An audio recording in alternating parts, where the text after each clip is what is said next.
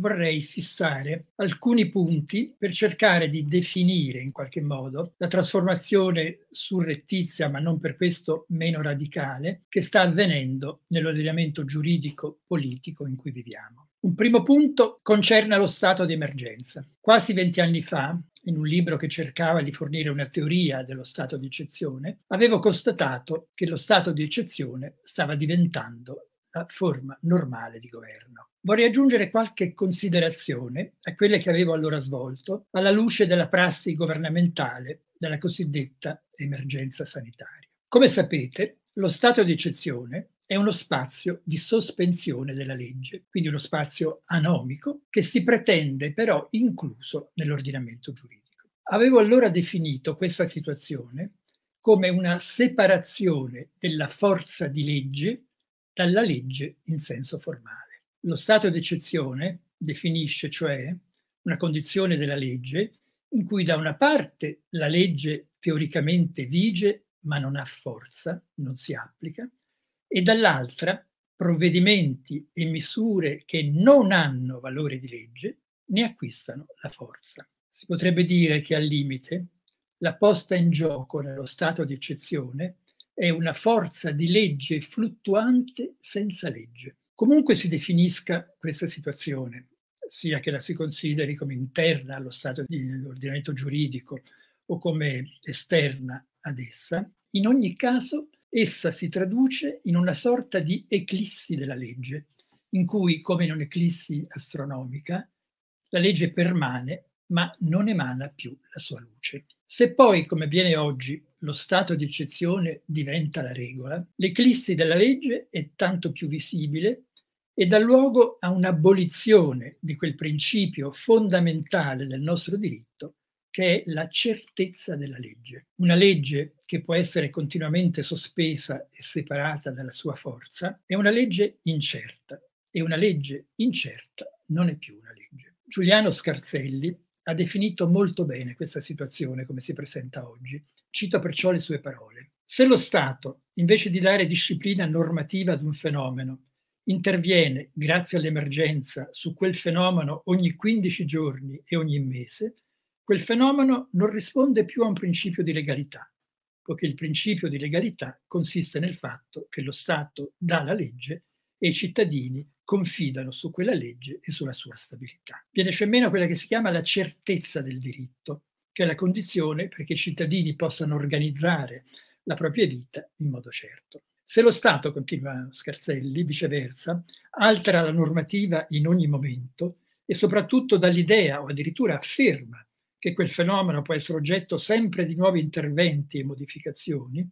a quel punto quel fenomeno non può più dirsi regolato dalla legge, perché di fatto è invece rimesso all'arbitrio del potere pubblico che si attribuisce il diritto di cambiare le regole in ogni momento. Ecco, questa cancellazione della certezza del diritto di, di cui Scarselli ha ben definito, è il primo fatto che vorrei sottoporre alla vostra attenzione, perché esso implica una mutazione radicale del nostro rapporto con l'ordine giuridico, ma non soltanto del, nostro rapporto con l'ordine giuridico, ma anche nello stesso nostro modo di vivere, perché si tratta di vivere in uno stato di illegalità normalizzata. Il secondo punto connesso col precedente, riguarda la sovranità. Voi sapete che la sovranità è definita dalla decisione sull'eccezione. Secondo la celebre definizione di Carl Schmitt, sovrano è colui che ha il potere di decidere sullo stato di eccezione. Stato di eccezione e stato normale non possono coincidere e il sovrano, che si tiene insieme fuori e dentro l'ordine giuridico,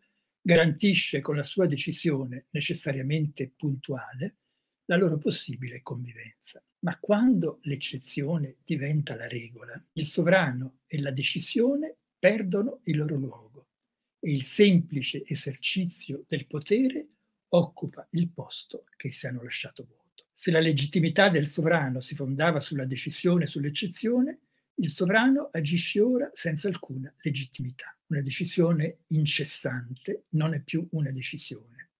E l'emergenza che aveva condotto a un'eclissi della legge produce anche un'eclissi e un singolare sfumare della figura del sovrano, che lascia sempre più il campo, come vediamo oggi con chiarezza, all'azione di forze esterne all'ordine giuridico. Questo è un punto importante. Credo che il cosiddetto Stato duale, attraverso il quale Ernst Frankel in un libro del 41, che credo bisognerebbe rileggere, aveva cercato di spiegare lo Stato nazista, che è tecnicamente uno Stato in cui lo Stato di eccezione non è mai stato revocato. No? Lo Stato duale è uno Stato in cui allo Stato normativo, Normenstaat, si affianca uno Stato discrezionale, Maßnahmestaat, uno Stato delle misure eccezionali. E il governo degli uomini e delle cose è opera della loro ambigua collaborazione. Questi due Stati collaborano.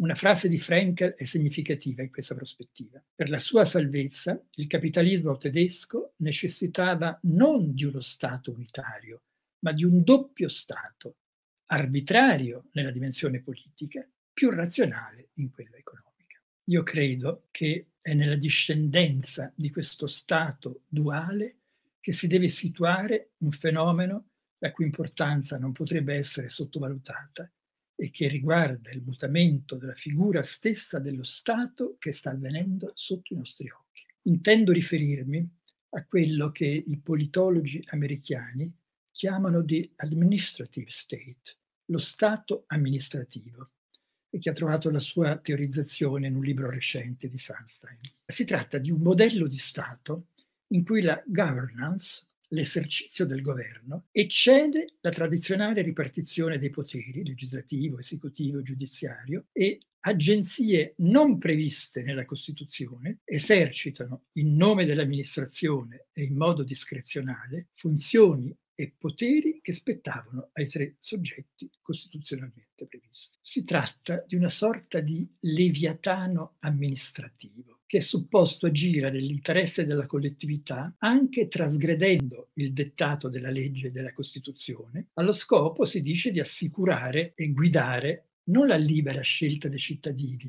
ma quella che Steinstein chiama la navigabilità, cioè in realtà la governamentalità, la governabilità delle loro scelte. E quanto oggi mi sembra sta avvenendo in maniera fin troppo evidente. Quando vediamo che il potere decisionale viene esercitato da commissioni e soggetti, i medici, gli economisti, gli esperti, del tutto esterni al potere costituzionale. Assistiamo qui a quelle trasformazioni informali del testo costituzionale su cui si è soffermato esemplarmente Alessandro Mangia in una serie di studi di cui mi sono qui ampiamente servito. Attraverso queste procedure fattuali la Costituzione viene alterata in modo ben più sostanziale di quanto avvenga attraverso il potere di revisione previsto dai costituenti, fino a diventare, come diceva un discepolo di Marx, un Papierstück, soltanto un pezzo di carta. Ma davvero significativo è che queste trasformazioni si modellino sulla struttura duale della governance nazista. Questo è un fatto secondo me importante, quello che sta avvenendo è connesso allo stato duale nazista. E quindi credo che sia forse, su questo forse avremo modo di parlare dopo, è il concetto stesso di governo, cioè di una politica intesa come arte del governo come cibernetica che occorre mettere in questione. Credo che una riflessione critica sul concetto di governo sia necessaria. Ecco, adesso vorrei cercare di definire due caratteri essenziali di questa nuova figura dello Stato amministrativo. Il primo è il paradigma delle libertà autorizzate, di cui il Green Pass è l'esempio perfetto. Nel diritto amministrativo l'autorizzazione è un atto che non attribuisce nuovi diritti, ma permette l'esercizio di diritti già esistenti. Così oggi vediamo che libertà che sembravano andare da sé, come il diritto di uscire di casa per passeggiare o quello di prendere un treno per spostarsi da una città all'altra, hanno bisogno, per essere esercitate, di una autorizzazione. La parola autorizzazione viene dal latino auctor. Nel diritto romano, auctor è colui che interviene a integrare l'atto di qualcuno che non ha la capacità di produrre atti in sé validi, per esempio un minore o un pazzo. Nel regime delle libertà autorizzate ciò significa che i cittadini sono incapaci di esercitare in modo pienamente valido le loro libertà e i loro diritti e hanno bisogno per farlo di un'autorizzazione. Si tratta, come vedete, in fondo di uno stato di minorità generalizzato che i cittadini devono esibire ogni volta il loro Green Pass, scambiano invece per una garanzia di libertà. No? I cittadini, invece di accorgersi che sono stati ridotti in uno stato di minorità, eh, scambiano il loro Green Pass come una garanzia di libertà senza pensare che così come è stata accordata, l'autorizzazione potrà essere revocata quando l'autor lo giudicherà opportuno. Ma al di là dell'esempio contingente, è il concetto stesso di libertà che sta mutando da cima a fondo. Una libertà autorizzata, che cos'è? E la prima conseguenza, credo, sia una depoliticizzazione assoluta della cittadinanza. Se la democrazia era nata ad Atene nel V secolo attraverso una politicizzazione della cittadinanza, la fine delle democrazie occidentali coincide con un'assoluta depoliticizzazione dei cittadini. Un secondo carattere del leviatano amministrativo, si tratta proprio di un leviatano amministrativo, è l'estensione particolare del concetto di subordinazione. La subordinazione è una categoria giuridica che gli studiosi di diritto amministrativo non sempre riescono a definire con chiarezza, con precisione, ma che riguarda essenzialmente il rapporto gerarchico all'interno degli organi dell'amministrazione statale. Un soggetto è subordinato ad un altro quando questo è legittimato a impartirgli unilateralmente dei comandi e a determinare così il suo modo di agire. Quello che sta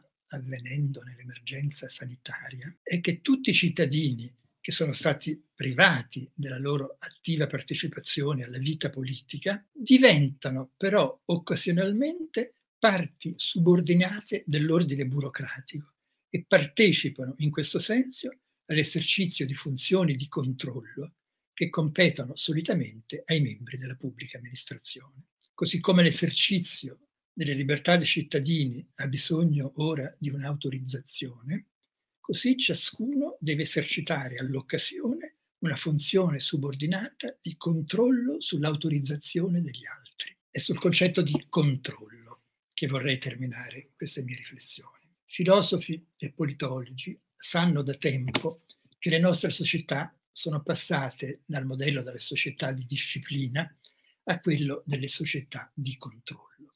Il termine controllo è relativamente recente e come tale non figura nel grande dizionario di Tomaseo e Bellini. Vi appare invece la voce controllare, che Tomaseo considera una voce straniera, e li menziona appena controllo, che suggerisce di tradurre alla lettera come controruolo e a cui fa corrispondere l'italiano riscontro e il verbo riscontrare. L'osservazione è molto pertinente perché il termine controllo deriva dal francese contre-rôle, che è un registro che fa da riscontro a un altro. Si ha controllo ogni volta che si fa corrispondere un dato a un altro, per verificarne l'esattezza, la validità o anche semplicemente la pura e semplice esistenza. A me sembra che il controllo capillare generalizzato che si sta instaurando nelle nostre società post-democratiche, anche se può essere ed è certamente usato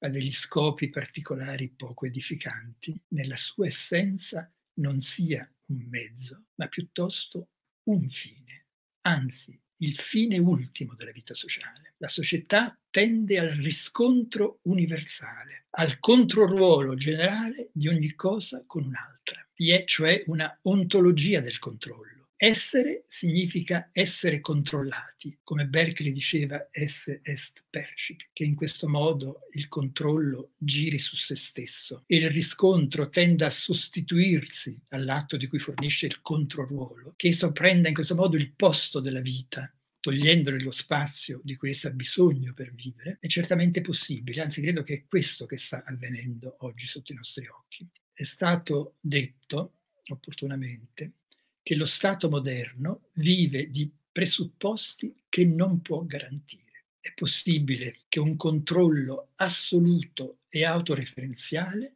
sia la forma in cui questa assenza di garanzie ha raggiunto la sua massa critica e che lo Stato moderno sia giunto alla fine della sua storia e che è questa fine che noi stiamo vivendo. Questo io credo fermamente. In questo senso, il controllo universale corrisponderebbe parodicamente al sapere assoluto della filosofia hegeliana. Essa nel paradigma di una religione ormai sottomessa e allineata.